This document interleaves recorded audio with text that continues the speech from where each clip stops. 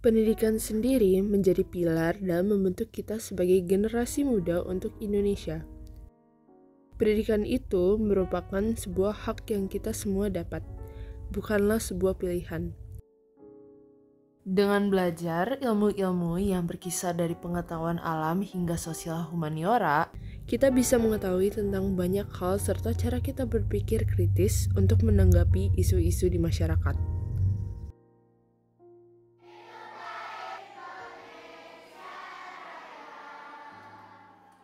Namun, beberapa banyak anak-anak muda di Indonesia masih tidak memiliki kesempatan untuk mencicipi ilmu tersebut yang menjadi salah satu dari hak kita sebagai manusia dan sebagai warga negara Indonesia.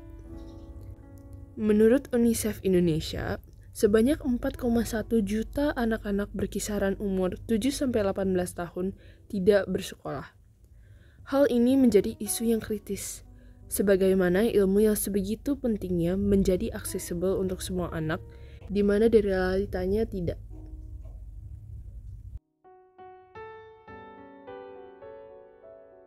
Dalam lingkup sivitas akademika, kita, mahasiswa, merupakan agent of change yang dapat menjadi salah satu solusi untuk mengatasi permasalahan-permasalahan dalam bidang pendidikan di Indonesia. Salah satunya terkait aksesibilitas yang diperlukan untuk anak-anak yang tidak memiliki kesempatan bersekolah bisa mendapat ilmu yang diberikan ke hampir semua anak di Indonesia.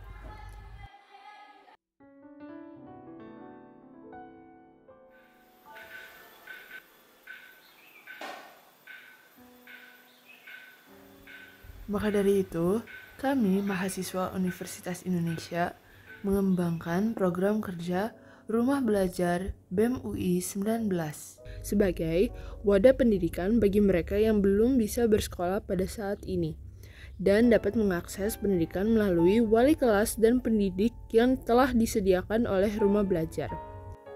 Kita di Rumah Belajar BEM UI 19 bervisi untuk menjadi ruang yang hangat dan kolaboratif untuk mencapai hasil yang bermakna dan bermisi untuk menciptakan suasana internal yang hangat, dalam rangka menghasilkan lingkungan kerja yang optimal dan kolaboratif, menghadirkan kegiatan akademik yang berkualitas dari segala aspek bagi seluruh peserta didik, memfasilitasi kegiatan non-akademik yang variatif untuk mengembangkan kreativitas pihak-pihak yang terlibat, serta menjadi sarana dalam memperluas jaringan relasi pihak-pihak yang ada di dalamnya. Seterusnya, mari kita dengarkan sepatah dua kata dari fungsionaris yang sedang mengikuti Rumah Belajar BEM UI 19. Mulai perkenalkan nama, usia, dan sebagai apa di Rumbel. Oke, halo semuanya. Sebelumnya kenalin, aku Zara Nursafa, biasa dipanggil Zahra.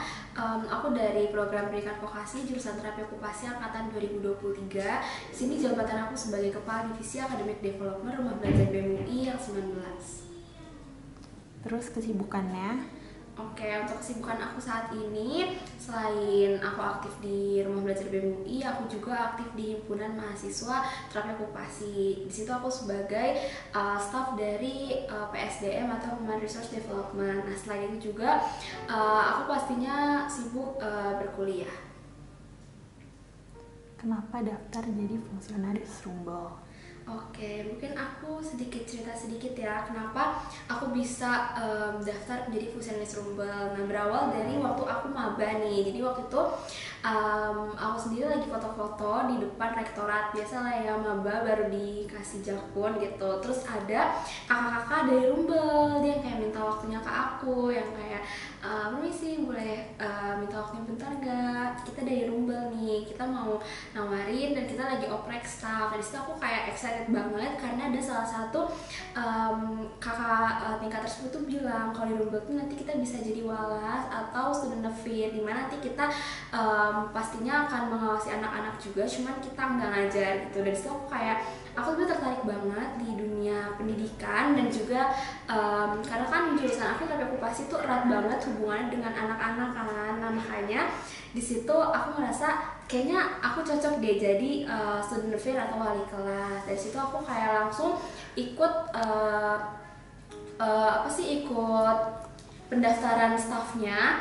Dan situ kayak aku langsung wawancara dan aku tuh awal kayak tegang banget karena kan kayaknya kakaknya bakal serem dan kayak gimana gitu. Nah ternyata plot twistnya adalah kakak itu uh, yang wawancarain aku kayak gitu. Dan ternyata kakaknya baik banget. Terus aku juga di sesi wawancara ngerasa kayak kayaknya student bener-bener cocok nih buat aku gitu. Dan singkat cerita kayak aku diterima nih jadi staff kayak mungkin motivasi aku awalnya kayak karena aku tertarik banget ya sama anak-anak karena jurusan aku juga relevan gitu ya.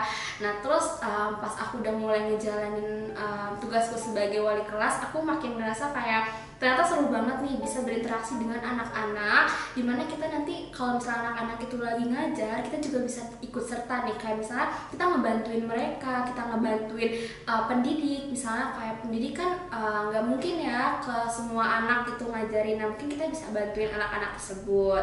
Kayak gitu. Nah terus kayak Nah, sekarang kan aku posisinya di kepala academic development nih. Nah, kenapa aku bisa lanjut di bidang yang berbeda? Karena jujur dari pribadi aku sendiri um, aku melihat kayak um, aku pengen nih uh, belajar gimana sih kayak caranya ngebuat soal yang berkualitas buat peserta didik kayak gimana. Di mana kan dari soal-soal tersebut uh, pasti kita ngerasa ada satu sisi yang kayak bangga wah ternyata soal kita tuh dipakai untuk uh, pembelajaran anak-anak. Mungkin dari aku sih gitu sebagai eh menurut kakak pendidikan itu penting gak sih dan kenapa?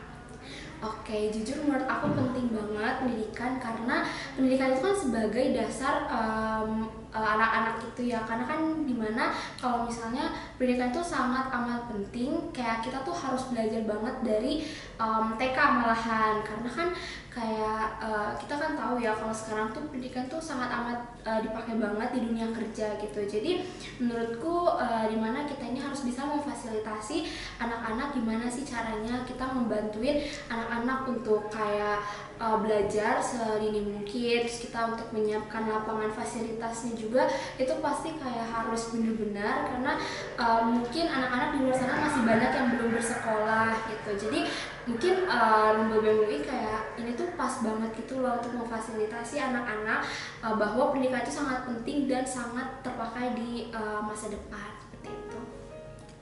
Bagaimana sih cara kita membantu pendidikan di Indonesia? Oke, okay, gimana sih cara kita membantu pendidikan Indonesia? Oke, okay, as simple kayak misalnya uh, rumah belajar BMU ini, kita kan kayak bikin suatu program yang di mana uh, fokus kita kan terhadap anak-anak yang uh, membutuhkan pendidikan nih. Jadi kita mungkin kayak bisa ngasih um, suatu pembelajaran atau suatu materi kepada anak-anak tersebut, di mana uh, kita juga tahu ya uh, di antara beberapa mungkin ada yang putus sekolah atau yang kayak um, sekolah mungkin uh, tapi masih belum mengerti materinya dan segala macam. Nah, di situ peran kita adalah memfasilitasi anak-anak tersebut. Jadi mereka tidak merasa ter, uh, ketinggalan atau mungkin uh, kayak kok aku nggak uh, sekolah ya dan segala macam. Nah, jadi di situ peran kita adalah ikut turut membantu uh, masyarakat atau peserta didik yang uh, memang masih um, harus uh, sekolah seperti itu.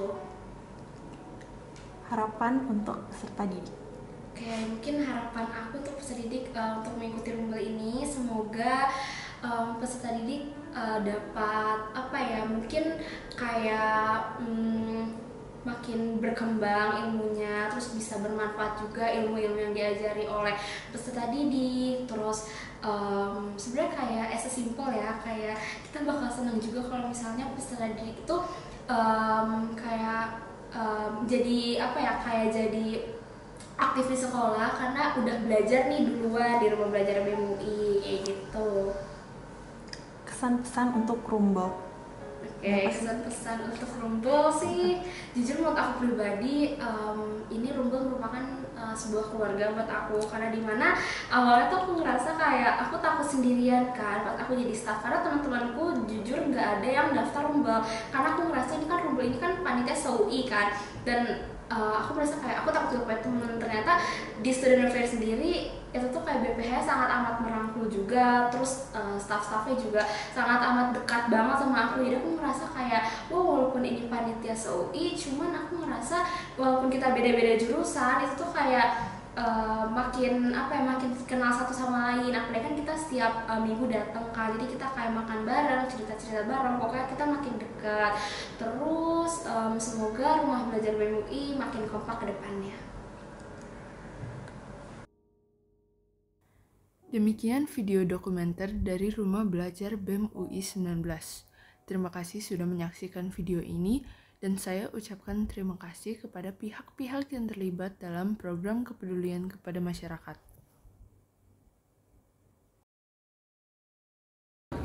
Tiga,